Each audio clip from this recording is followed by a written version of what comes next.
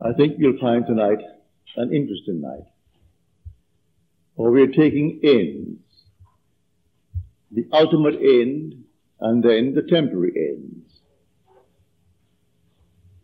For it is the end that gives meaning to all that goes before. The psalmist said, Lord, let me know my end and the number of my days. Read, Fear not, for it is your Father's good pleasure to give you the kingdom of heaven. That's the ultimate end. In giving you the kingdom of heaven, He gives you Himself. For you can equate heaven with God. God is able to give Himself to all of us, to each of us. And the gift comes suddenly and without warning after the tribulation of human experience. That I have tried you in the furnaces of affliction for my own sake. For my own sake I do it. For how should my name be profaned? My glory I will not give to another. And when we read the story in the book of Exodus, we see that glory and God are equated. I'll make my glory to pass before you. And when I pass by, so the I and glory are synonymous. He cannot give himself to another. So the furnaces are simply to change man into himself. He became as I am, that I may be as he is. And so I passed through the tribulation of human experience. And then the end comes suddenly. The event comes in unique and unpredictable ways. Man thinks he can discover the way without having experienced it. You can't do it. For when you experience it, listen to the words carefully now, taken from the 48th chapter of Isaiah, the third verse. The former things I declared of old. They went forth from my mouth. I made them known. Then suddenly I did them and they came to pass. Now here, the one proclaiming what is going to be done, his intention, but no one could fulfill it. He had to fulfill it himself. So if he would give me himself, he has to fulfill it in me. So when this unpredictable unique event takes place, it takes place in the first person singular tense, in me. And it comes suddenly without warning. So when I actually experience the gift of God to me, it isn't someone on the outside giving me something. He rises within me. And rising within me, he gives himself to me. Then I know who I am. And he set the entire thing out for us in his word. Now I have heard, and doubtless you have heard too. You've heard preachers claim that they met Jesus. And they're waiting for him to return. I know I have heard them. I dare say you have. If you haven't actually heard them, as I did, then you read their words, claiming that they actually met him in spirit. And then you ask them, but then tell me, who is Jesus? And they'll reply, well, Jesus is the Son of God. Then you can say to them, if you know Scripture, if you met him, you saw him, and you say he is the Son of God, well, then you must be God. They'll be startled, shocked, and think that you're blaspheming. And yet we are told that no one knows the Son except the Father. Well, if they know him and they met him, they must be the Father. If they met him and they claim they met him, well then, they must be God the Father. I can tell you, you can say right into their face, you are a liar. Some grand hallucination because you cannot meet him from without. When you know God, you know him through his Son. And you want to know him through Jesus. Jesus is the Father. And David is the Son. When you meet David, you know that he is your son. And because he is God's son, then you know who you are. And there is no other way to know God. It's the only way. It comes in unique and unpredictable ways, the entire story of Scripture. So the former things I declared of old, they went forth from my mouth, and I made them known. Then suddenly I acted, and they came to pass. Read it in the 40th chapter of Isaiah. And the word Isaiah simply means Jehovah saves. It's the same meaning of the word Jesus, the same meaning of the word Jehovah. Jehovah is salvation. Jesus means Jehovah is salvation. The word Jesus and Jehovah are interchangeable terms. No one can say Jesus is Lord except by the Holy Spirit. And who is the Holy Spirit? The remembrancer. He will bring to your remembrance all that I have said unto you. So when it comes, then all of a sudden it awakens within you. He told you what he will do. He's going to give himself to you. It is his purpose in life, his intention, to give himself to all of us, but to each of us, not collectively, but to each of us. He comes to us individually. And when he comes, he isn't coming from without. He is coming from within, for he is buried within, and he rises within. So here now we are facing a day, two weeks from today, I think it is, when they all celebrate. I shouldn't use the word celebrate because they'll be very sad about the day, because they do not know the day. It's called crucifixion. And they will simply remember the day. What day? 2,000 years ago? No. He chose us in Him before the foundation of the world. And one man fell and became fragmented into unnumbered beings, all sons. And then comes the great affliction, the great tribulation of human experience. And then he calls us back one by one. But when we return, we are the one who fell, who is God the Father. You're raised from the level of the fragmented being called the Son into the level of God the Father. And he's personified in Scripture as Jesus. So when someone tells you, I met him, I've gone on TV panels with ministers. They brought on all kinds of pictures to show me these ancient things concerning Jesus. Well, about 35 years ago, an artist friend of mine took me to the Metropolitan Museum, rather the Metropolitan Library on 42nd and 5th, the New York Library. He was a member and he took out 46 pictures of Jesus. No two looked alike. They were simply personifications of the artists who painted them.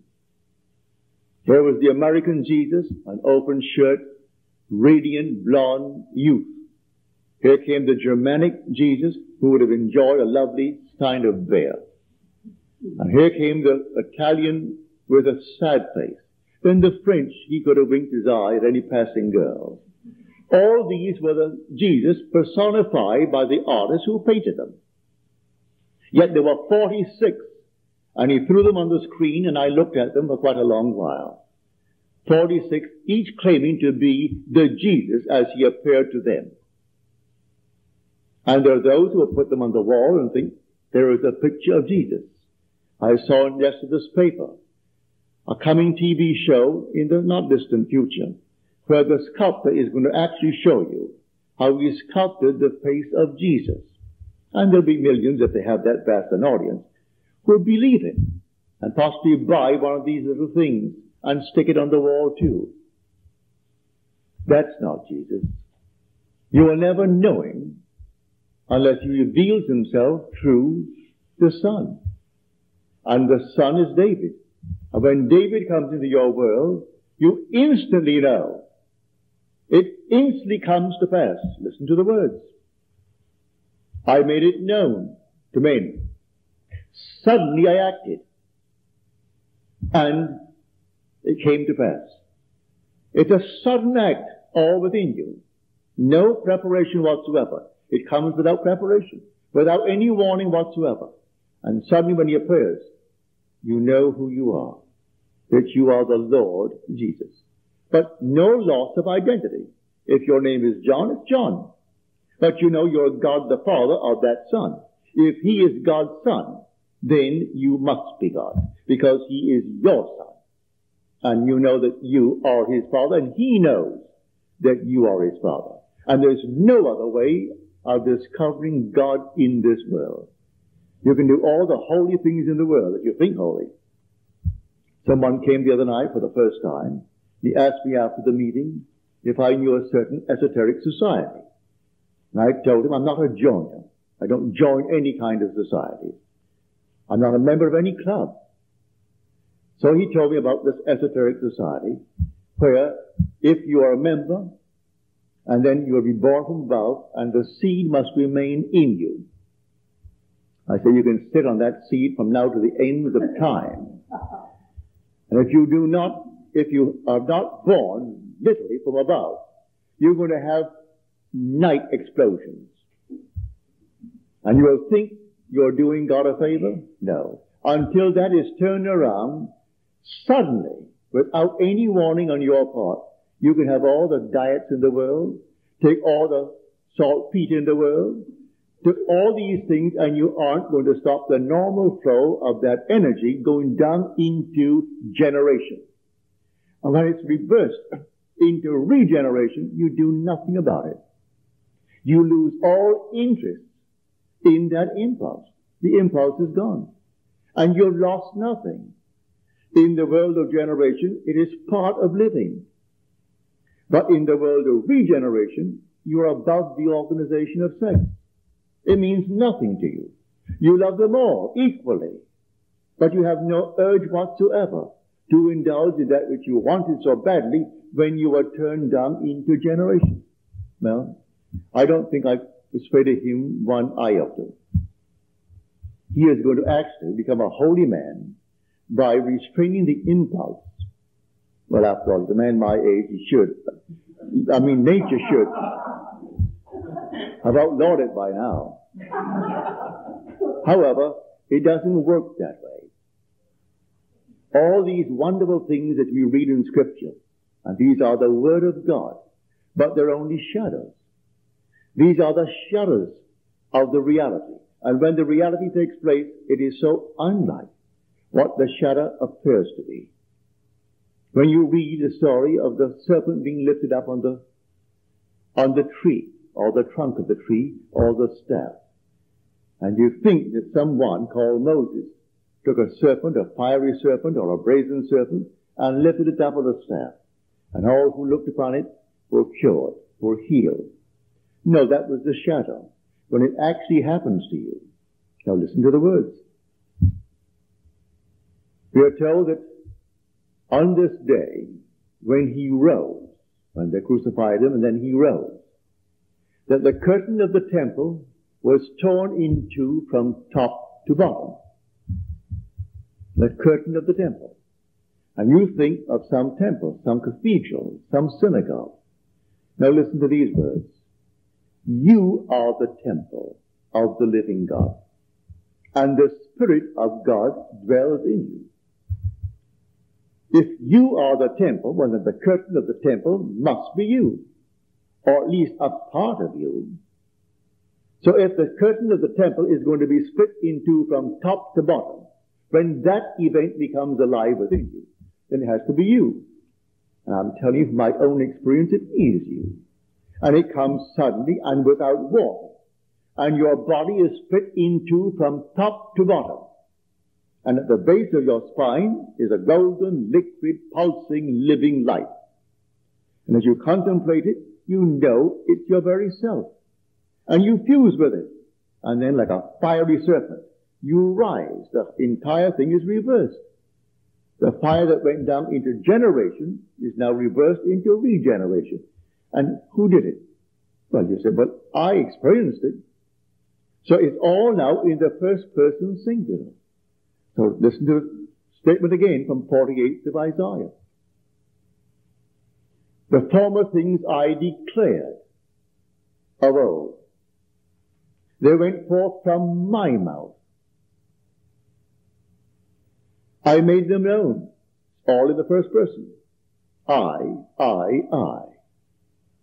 Then I acted, and they came to pass. Well, who's acting?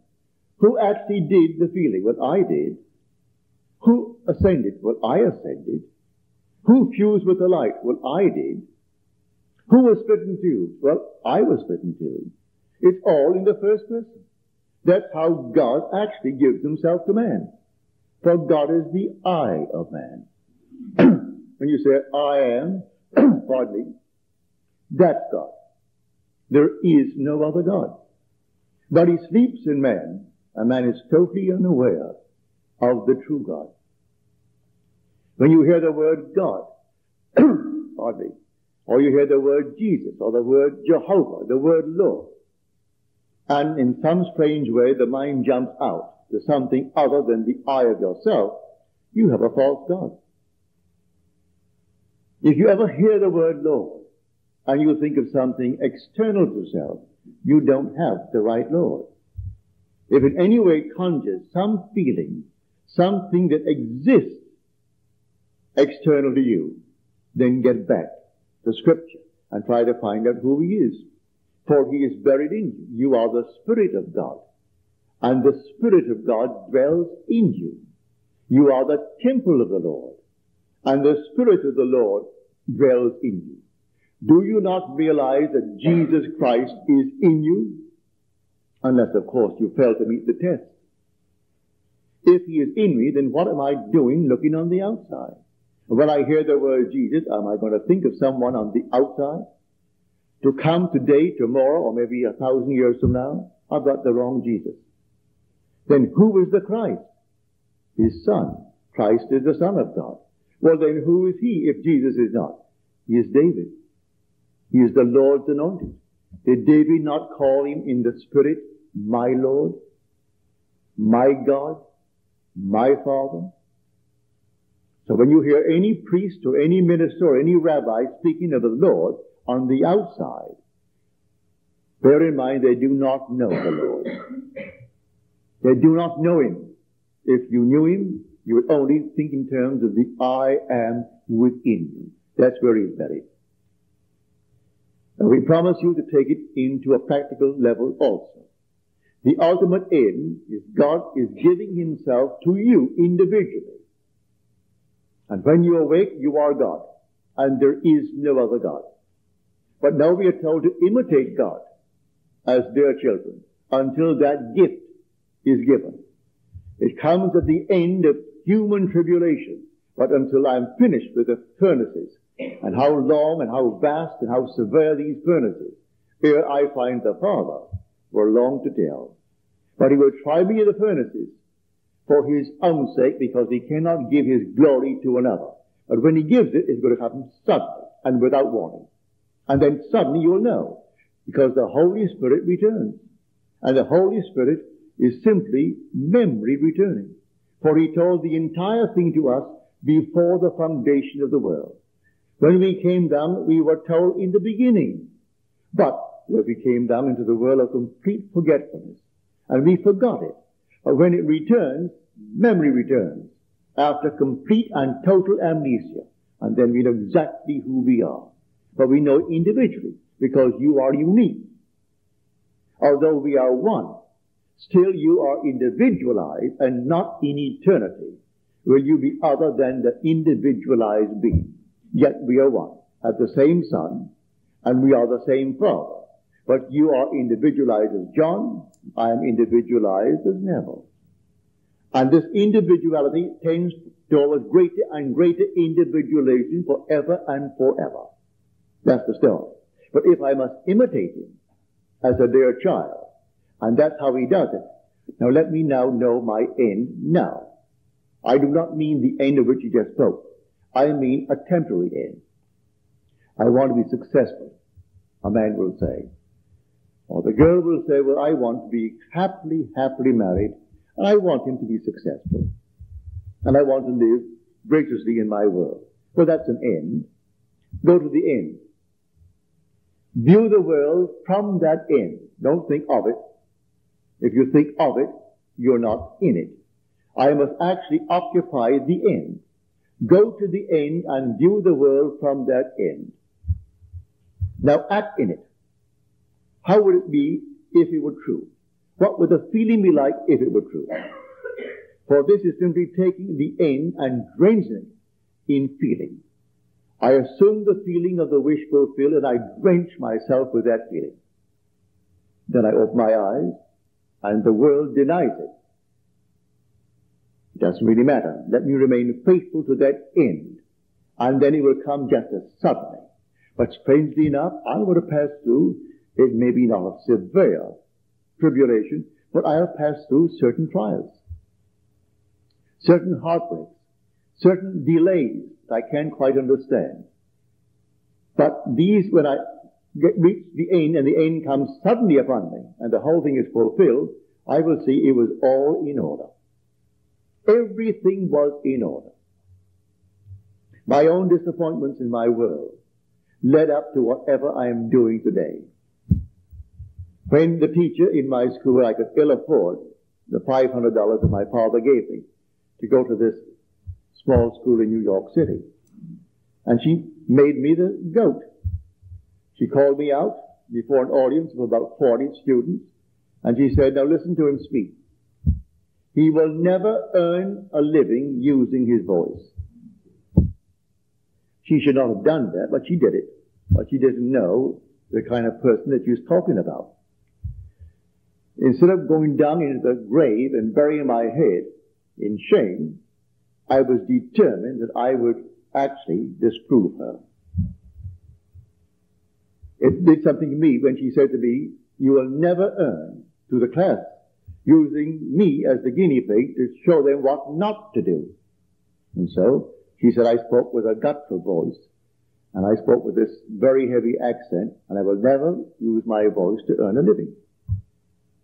Well, I do not know what the others are doing. I haven't heard of them. And there's not a thing wrong in selling shirts for Macy's. Use your voice there too. And I dare say most of them wound up selling groceries or something. I met one of them, and he was selling groceries at Macy's. And he said to Neville, to me, Neville, what do you do? So I said, I talk on the Bible. You talk on the Bible? Are you a minister? I said, no, not a minister. I simply talk, talk on the Bible from having experienced the Bible. But I do not know what they do if they're still in this world. But I don't think one of them ever earned a living using his voice, unless he was selling groceries, as this one chap I know, he sold groceries. We all went to this school, and this teacher simply singled me out to make some little, well, exhibition of what I should not be doing in class. But I went home and I was so annoyed that I had lost my father's five or six hundred dollars that he gave me for the six months course. That I was determined that she was false, that he was wrong. So I went to the end. I went to the end and actually felt that I was facing an audience and unembarrassed and I could talk and talk and talk forever without notes. No notes. And so class came to an end and I left.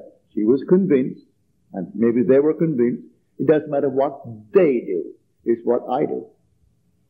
So others may be convinced it doesn't really matter. The whole vast world is yourself pushed out. Maybe I needed that jolt at that moment in time. And so I went through the different tribulations and finally I found myself doing what I always wanted to do. To tell the story as it happened to me in my vision. I was having all these visions and they were related. And yet, how to do it? So the first that I started, I think six people came. I paid three dollars for the hall. And they all came. I sat down. I wore a tux for the occasion. And I sat down and spoke for ten minutes and dried up. And I asked them to ask me questions. So they did, very graciously. They're all friends. Sent out 50 penny postcards. In those days, you could send a card for a penny. Sent out 50 and six came. And out of, well, sympathy, each gave a dollar bill. So at least I paid three dollars for the room and I made three dollars. And that was my beginning. And then it grew from three to ten to twenty. And one night, when I had about fifty, a man in the building saw me growing and growing and growing, and he thought he'd put a stop to it. And he was going to one of these New Thought conventions in Washington, D.C. And so he asked me to take his platform. And he had a very large audience of about 500. He thought that would throw me. And so I accepted his generous offer. I learned afterward his purpose was to simply get me out of the place. He thought I would simply make a monkey of myself before a vast audience who were trained differently. Unfortunately for him, unfortunately for me, the next time I spoke, my room couldn't take them. I had to move several times in six months, and then I moved to, a, to an old church at track 1100. So you see, I, he thought he was going to hurt me. As scripture teaches, you meant it evil. You meant evil against me, but God meant it for good. So I got his audience. And then, about three years later, for some little infraction of the laws of New York City, they put him away for a couple of years. And when he came out, he asked me if I'd speak for him, and I said yes, without one penny. I will willingly speak for you, because no one else would speak for him. They cut him off completely and said, no, you don't realize how good you were to me. And so I will speak for you. And I went up and I spoke for him without taking one penny. And then he couldn't get going again. And then he and his secretary got into his car turn on the ignition, close up all things, and call a day. So you see, you go through these things, and at moments they seem to be against you, and they're all for you, if you remain faithful to the end. So let us be imitators of God as their children. So then we are told, I was not ungrateful. I was not, I would say, forgetful of the divine image. I remain faithful to it. If I remain faithful to it, let anything happen, and then say within yourself, you meant evil against me, but God meant it for good. I can go back in my own family. When people tried to take from my father a little equity that he had in the business, and we thought the world came to an end on that day, for he had a large family, and how to feed them, how to support them. Ten children, your wife, yourself, your mother-in-law and the few servants that we had. And no one would come to see him because they weren't quite sure but what the accusation might be true. And that, on reflection, was the turning point in the family's fortunes. So from being a minor partner, having a very small equity in the business, he turned around without partners and then transcended the wildest dream of the family. And that was the turning point. He kept his vision. He knew he hadn't done a thing that was wrong, and he kept his vision concerning what he wanted in life and what he wanted for the family. So if you have a vision, and by vision I mean a daydream, what would you like to be in this world? Do you know it? Just what would you like to be? How would you like things to be in your world? Well, that's a vision. Well, now, remain faithful to it, tomorrow you may be uh, given a severe blow. And you may interpret that as being set back. Time will prove it was a turning point in your fortunes. Everything will add up towards the fulfillment of your dream if you remain faithful to that vision. It's all in your own wonderful human imagination. That's God. God actually became as I am, as you are, that you may be as He is. And He takes upon Himself all the weaknesses of man. For we say, well, God doesn't suffer. Well, now I ask you a question. If you're in pain, are you in pain? And you will say to me, yes, I am. Well, that's His name. God's name, He has no other name. That's who He is. So you say, I am in pain. I am embarrassed. I am unwanted. That's God's name. He is doing all the suffering because He goes through life with you, as you, until one day He reveals that He's you. It is God and God alone playing all the parts in the world. There's nothing but God. If God did not become as I am, I couldn't breathe. He is my breath. But He doesn't limit me to my wishes. He doesn't limit me to my outlook on life. He plays all the parts. He waits on me just as quickly and as indifferently when the will in me is evil as when it is good. And therefore, he subjects himself to all the things in my world. God is like pure imagining in you, in me, in every being in the world. So you imagine, all right, that's God. And he waits on us because we imagine this, that, and the other. Now you know this, go to the end, a noble end, a successful end in your world. All that having seen it clearly in your mind's eye, what would the feeling be like if it were true? Drench yourself in that feeling. Now, tomorrow you may be disappointed. Or don't expect it tomorrow. It may come tomorrow. When it comes, it's going to come suddenly and unexpectedly. But remain faithful to the end.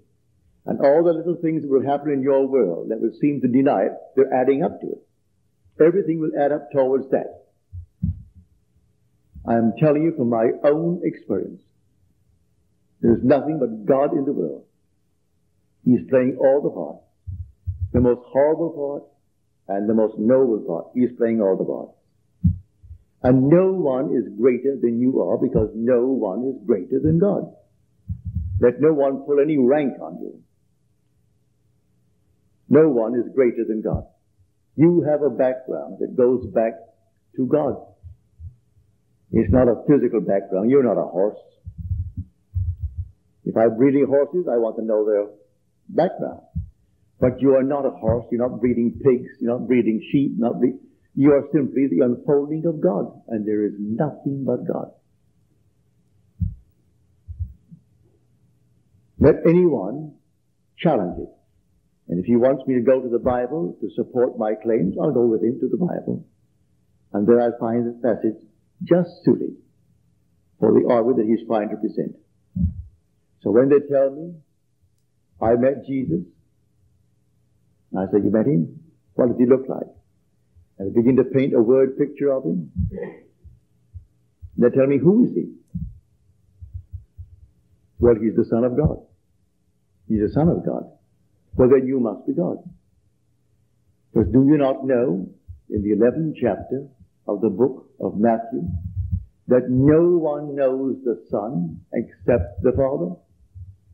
And you say you know the Son and you've seen him. But if you've seen the Son, well then you must, must be the Father. For no one knows him but the Father. Now listen to these words. No one has ever seen God. But the only Son, who is dearest to his heart, he has made him known. That's the first chapter, the 18th verse of John. So if now you say, you've seen him, well I tell you, if you have seen God, then you must have been then the Son. For no one has ever seen God except his only Son, who is dearest to his heart, and he has made him known. You either Christ, the Son, or you are Jesus, the Lord. One or the other. Yet they are one. One reflects the other. The Son not only radiates, but reflects the glory of God and bears the express image of his person. So when you look into the face of the Son, he is the eternal youth, and you, the ancient of days, and you're one. He reflects your glory, and your glory is simply I am. So I tell you, the greatest book in the world is the most misunderstood book. When he said, I declare these things of old, but they were shadows. All these were shadows of the reality. And when he himself comes into the world and fulfills his own declaration, then his shadow world rejects him. It's not what they were expecting. So we are told they rejected him. He came unto his own, and his own received him not. They could not accept it because they're looking for some man on the outside to be a savior. No one on the outside is going to save you. God and God alone is Savior. Listen to the words. 43rd and the 45th chapter of Isaiah. I am the Lord your God, the Holy One of Israel, your Savior. And besides thee, there is no Savior. I am He. Not a being on the outside talking to you. I am speaking from within you. Your own wonderful I amness, that is the Lord God Jehovah. That is your Savior. And besides Him, there is no Savior. And when He reveals Himself to you and un- completely unfolds Himself within you, it's because He has brought the only one in the world that could reveal Him as you, and that is His Son. And His Son is your Son. If His Son is your Son, then you and He are one. So that is the story. So the end gives meaning to all that goes before. If I only know the end, well, the end is, it is God's purpose to give himself to me as though there were no others in the world. Just God, just self, and not two, just one. He broke down the barrier of partition between us, and now we became one. So he cleaved to me, his emanation. Yet his wife, till the sleep of death was past. And when the sleep of death was past, then I awoke. I awoke as the Father. And that is God the Father. And there is no other. Now tonight you have your wonderful dreams. Dream nobly. You want to be happily married? You want to be financially successful? You want to be known in your chosen work? All these things are but dreams. And if you know the law, you can dream them and make them come into this world. And when they come, they're going to come suddenly. Just without any warning whatsoever. They'll happen suddenly. Not even a little foreshadowing. Just suddenly it will appear. I know in my own case, these events, one after the other, I had no inkling when I slept that night that this night a great event would take place and casting me in the central role. We are told, and I acted, and it came to pass. I acted, and it came to pass. And so I didn't see a being on the outside calling himself God. I awoke within my skull and found it to be a sepulchre. It was I who awoke. It was I who came out. It was I who found the little child wrapped in swaddling clothes. It was I who saw the three witnesses bearing witness to the event that I had just experienced. It was I who heard the wind. The wind was like some storm. It was I who saw David, who revealed to me that I am his father and he is my son. It was I whose body was split in two from top to bottom And it was I who actually looked upon that liquid golden living light, fused with it, and then like a fiery serpent rose into my own skull. And it was I on whom the dove descended and smothered me in kisses. It was all I, as you're told in that passage. Read it carefully, the 48th chapter, the third verse of Isaiah. The whole thing is centered in the first person singular. Not we, but I. It's unique. That's the being that you are. And all that has happened to me is going to happen to you. That you may know in the end that you and I are one. And we are the Father. Therefore the Father is a compound unity. One made up of others. And that's what the word Elohim, which we translate God in scripture, is. It is a plural word. It's a compound unity. And so the very first time it appears in scripture is the very first verse of Genesis. In the beginning, God created the heavens and the earth. That word God, translated God, is Elohim, plural. And God said, let us make man in our image, after our likeness. That word is plural. It's Elohim. So the Elohim is a compound unity, one made up of others. And we are the fragmented one. Now we are called back into that unity. But when we call, are called back, we become the one, the Father. And there's no way to reveal you as the one other than the Son, the only Son calling you Father. And you know it. So the Holy Spirit. The remembrance returns. So say what you want about the Father. Say what you want about the Son. All that's forgiven. But the sin against the Holy Spirit is not forgiven. When remembrance returns, you couldn't possibly deny it. So don't be concerned. You will never in eternity deny it because memory has returned. So there's no possibility of sinning against the Holy Spirit. And you've heard all kinds of arguments. It means uh, deviation in sex. All that nonsense has nothing to do with it. When memory returns from the total amnesia that you suffered, you can't deny the being that you are. So all the arguments about God and His Son, you're told all that is forgiven, but the sin against the Holy Spirit. And who is the Holy Spirit? I will send you the Comforter. The Holy Spirit, who is the Spirit of truth. And He will bring to your remembrance all that you have heard from me. So everything you heard before the world was, then the whole thing comes back. And you see who you really are. So I'm telling every person in the world who will listen, you are God the Father. And the day will come, and it will come suddenly and without warning, in the most unique, unpredictable way. And here, you can't deny it. And then when the little thing called death takes place, you've taken it off for the last time. And then you and I, in the eternal world, will be one in the most intimate sense, and yet separate because we are individualized, and yet one. As something that only you can experience when you are in that state. Now, how can two bodies fuse and actually, literally, become one body. I have had that experience. Two fuse. You can take the most intimate embrace in this world, and yet they're two.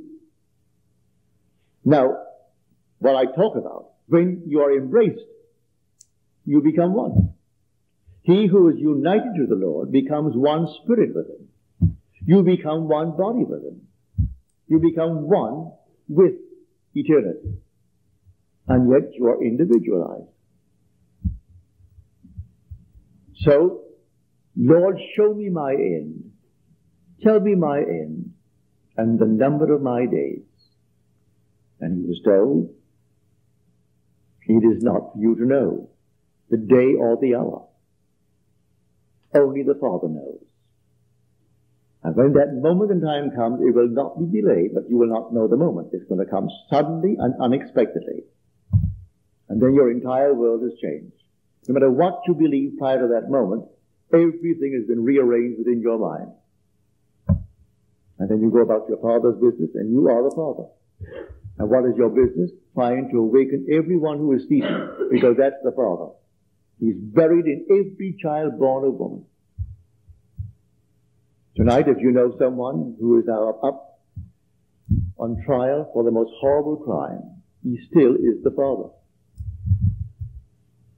If you hear some glorious person, he's still the father. Not any more than the one on trial for his life. So it's all God, and God is playing all the parts. And in the end, when it comes down, you and I will understand why. As the poet said, be patient. Our playwright will show in some fifth act what this wild drama means. So when you meet any person in this world, regardless of the pigment of the skin, regardless of their background, you're looking right at a mask behind which God hides his face.